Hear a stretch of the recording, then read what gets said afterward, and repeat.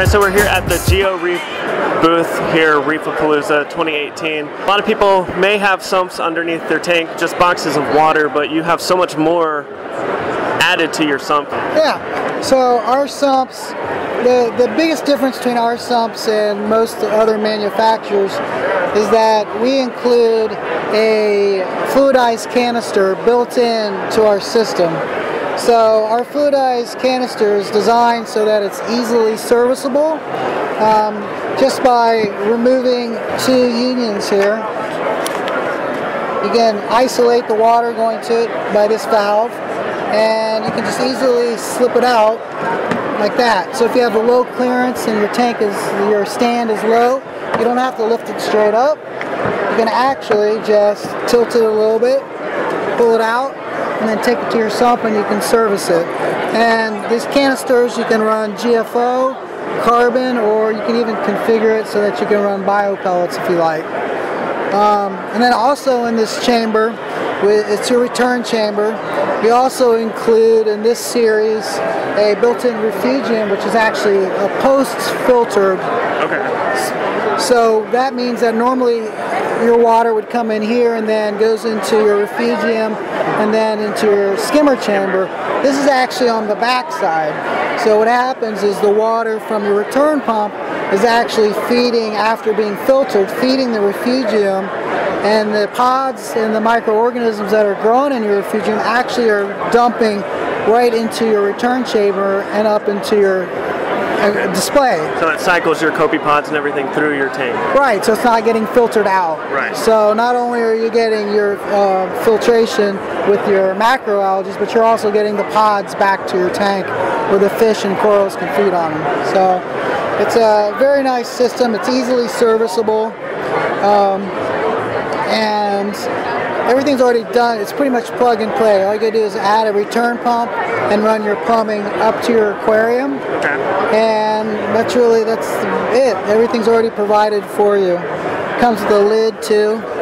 And the other nice item is it comes in with a what we call a universal uh, float holder. So you can use like a Tunze or you can use the ATK from Neptune Systems. And basically it is a holder that will hold your optical sensors. Um, you could put a pressure tube, which uh, SpectraPure uses, and then you can actually adjust the height for a, a low and a high sensor. And so when your water drops into your uh, uh, into your return system, it'll add water, and then it'll you have your high for an emergency. So, and it comes with our sumps. It also comes with, um, you know, standard is your probe holders, uh, dosing line holders, um, adjustable section for your skimmer. So if your skimmer needs seven inches of water, you can adjust this baffle and then lock it in place. Uh, another thing is the sumps are very quiet. They come with the lids over your sock area and they also come with sock silencers. Instead of the water dumping directly into your sock and making that splash noise, it breaks up the water and makes a nice trickle sound instead of the splash. And then um, also you'll notice that our socks are actually flush mounted so that when the water comes in, it's not hitting an edge. So it's another reason that that, that would cause noise, right? And so you can just easily use any any most manufacturers four inch socks will fit in here. So you can see they're recessed right there. Very nice. Now, what um, sizes do you guys make? Well, our standard sizes are 24 inch, 30 inch, 36, and a 46. And the uh, height and width are the same. They're all 15 by 15. Just the length changes. And they're, they're customizable. You can also, instead of having a refugium here, you can have a auto top off.